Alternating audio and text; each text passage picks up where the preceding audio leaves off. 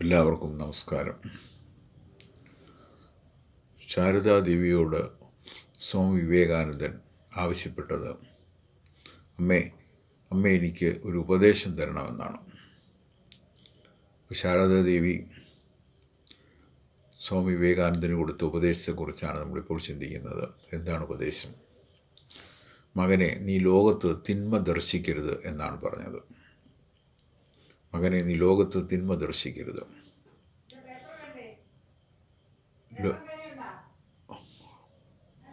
ലോകത്ത് തിന്മ ദർശിക്കരുത് എന്ന് പറയുമ്പോൾ എന്താണ് നമ്മൾ മനസ്സിലാക്കേണ്ടത്? ലോകത്ത് തിന്മ ഇല്ല എന്നല്ല. നമ്മൾ ലോകത്ത് തിന്മ ദർശിക്കരുതെന്നാണ്. ഇപ്പം നമ്മളൊരു റോസാ ചെടി കാണുമ്പോൾ റോസാ ചെടിക്ക് മുള്ളുമുണ്ട് പൂവുമുണ്ട്. മുള്ളും നമുക്ക് കാണാം പൂവും കാണാം. പക്ഷെ നമ്മുടെ ശ്രദ്ധ പോകേണ്ടത് മുള്ളിനേക്കാൾ പൂവിലേക്കാണ്. ഈ പൂവുണ്ടായി വന്നിരിക്കുന്ന റോസാ ചെടിയിലാണ്. ഈ റോസാ ചെടിക്ക് നമ്മൾ വളമായി സ്വീകരിക്കുന്നത് ചാണകമാണ്. ചാണകത്തിന്റെ ഗന്ധമല്ല റോസാപ്പൂവിന്റെ ഗന്ധം. അപ്പോൾ ഈ റോസാ ചെടി ചാണകത്തെ സംസ്കരിച്ച് എപ്രകാരമാണോ അതിലൂടെ ഒരു റോസാപ്പൂവിനെ തിരിച്ചു തരുന്നത് അതേ പ്രകാരത്തിൽ ഈ ലോകത്ത് തിന്മകൾ ഉണ്ടായിരിക്കാം. പക്ഷേ നമ്മൾ ആ തിന്മകളെ അല്ല എടുക്കേണ്ടത്. നമ്മളതിനെ സംസ്കരിച്ചെടുക്കുകയാണ് വേണ്ടത്. അപ്പോൾ അതിനെ സംസ്കരിച്ചെടുക്കുമ്പോൾ ലക്ഷക്കണക്കിന് വർഷങ്ങൾ ഭൂമിയുടെ അടിയിൽ കിടക്കുന്ന ചാർക്കോളാണ് കാലത്താൽ വജ്രമായി മാറുന്നത്.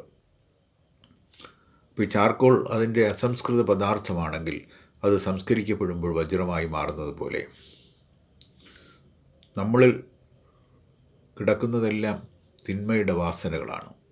അപ്പോൾ ഈ തിന്മയുടെ വാസനകളൊക്കെ സംസ്കരിക്കപ്പെടുകയാണ് വേണ്ടത്. അപ്പോൾ അത് സംസ്കരിച്ചെടുക്കുമ്പോഴാണ് എപ്രകാരമാണ് റോസാ ചെടി സംസ്കരണത്തിലൂടെ റോസാപ്പൂവിനെ തിരിച്ചു തരുന്നത് ആ റോസാപ്പൂവിന്റെ സുഗന്ധം ലോകത്ത് പരത്തുന്നത് അതേ പ്രകാരത്തിൽ നമ്മളിലും ഒരു സുഗന്ധമുണ്ട്. ആ സുഗന്ധം പരത്താൻ നമുക്ക് കഴിയണം. അപ്പോൾ അതിന് നമ്മൾ ഏറ്റെടുക്കേണ്ടത് ഒരു സംസ്കരണമാണ്. അപ്പോൾ തിന്മയെ സംസ്കരിച്ച് നന്മയാക്കാൻ പറ്റണം. തിന്മ അല്ലേ നമ്മൾ എടുക്കേണ്ടത് നന്മയാണ്. അപ്പോൾ തിന്മയിൽ നന്മ അടങ്ങിയിട്ടുണ്ട്. അടങ്ങിയിരിക്കുന്ന നന്മയെ നമ്മൾ പുറത്തു കൊണ്ടുവരികയാണ് വേണ്ടത്. ഇപ്പോൾ ചാണകത്തിന്റെ ഗന്ധവും റോസാപ്പൂവിന്റെ ഗന്ധവും എപ്രകാരമാണോ? രണ്ട് പ്രകാരത്തിൽ നിലകൊള്ളുന്നത്. ആ ചാണകത്തിൽ അടങ്ങിയിരിക്കുന്ന സത്തയെ എപ്രകാരമാണോ ഒരു സംസ്കരണത്തിലൂടെ റോസാപ്പൂ ആക്കി മാറ്റുന്നത്? അതേ പ്രകാരത്തിൽ നമ്മളിൽ നടക്കുന്ന സംസ്കരണത്തിലൂടെ നമുക്ക് ലോകത്ത് നന്മ കാണാൻ കഴിയണം. അപ്പോൾ നന്മ എല്ലാറ്റിലും ഉണ്ട്. അതിനെ നമ്മൾ സംസ്കരിച്ചെടുക്കുകയാണ് വേണ്ടത്. അപ്പോൾ അങ്ങനെ സംസ്കരിച്ചെടുക്കാൻ കഴിയണം. അതെങ്ങനെ കഴിയും? ഷേക്സ്പിയർ മഹാകവി പറഞ്ഞു nothing is good or bad thinking make it so ഒന്നും നന്മയുമല്ല തിന്മയുമല്ല. നന്മ തിന്മകൾക്ക് ആധാരം ചിന്തയാണെന്ന് പറഞ്ഞു. അപ്പോൾ നമ്മുടെ കാഴ്ചപ്പാടാണെന്ന് പറഞ്ഞു. അപ്പോൾ കാഴ്ചപ്പാടിലൂടെയാണ് നന്മ തിന്മകൾ ഉണ്ടായി വരേണ്ടത്.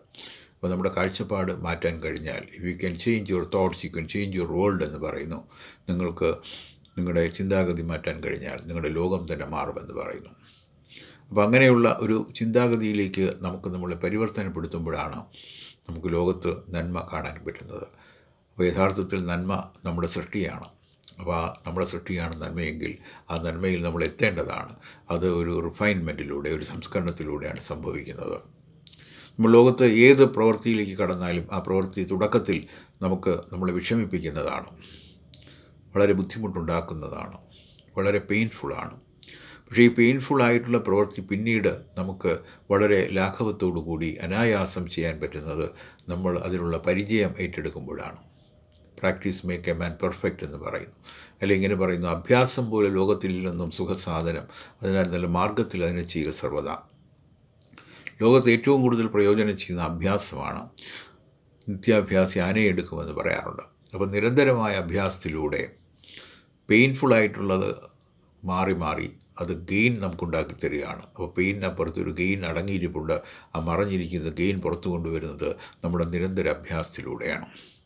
ആ നിരന്തര അഭ്യാസത്തിലേക്ക് നമ്മൾ നമ്മൾ ഒരുക്കുമ്പോൾ നമുക്ക് വേണ്ടത് ഒരു കണ്ടിന്യൂവിറ്റിയാണ് ആ കണ്ടിന്യൂവിറ്റിയിലൂടെ നമ്മളൊരു കൺസിസ്റ്റൻസിയിൽ എത്തുമ്പോഴാണ് നമ്മുടെ പ്രതിഭ പുറത്തു വരുന്നത്. അപ്പോൾ ഈ കണ്ടിന്യൂറ്റിയും കൺസിസ്റ്റൻസിയും ഏറ്റെടുക്കാൻ കഴിയുന്ന ഒരാൾക്ക് കാലത്താൽ നന്മയിലെത്താനും നന്മയുടെ പ്രയോജനത്തിലെത്താനും നന്മയിലൂടെ ഒരു സക്സസ്ഫുൾ പേഴ്സണായി മാറാനും പറ്റുന്നു. അപ്പോൾ അങ്ങനെ സക്സസ്ഫുൾ പേഴ്സണായി മാറാനുള്ള സാധ്യത നമ്മളിലുണ്ട്. ആ സാധ്യതയെ നമ്മൾ എക്സ്പ്ലോർ ചെയ്യുക അത് നമ്മൾ കണ്ടെത്തുക അതിൽ പെയിനിൽ തുടങ്ങി ഗെയിനിലെത്തുക അപ്പോൾ നിങ്ങളോട് സംസാരിക്കാനുള്ള അവസരം ഒരുക്കുന്ന ദൈവത്തിനും ഗുരുവിനും നന്ദി പറയുന്നു. എന്റെ വാക്കുകൾ ശ്രമിച്ചുകൊണ്ടിരിക്കുന്ന നിങ്ങൾക്കെല്ലാവർക്കും നന്ദി നമസ്കാരം.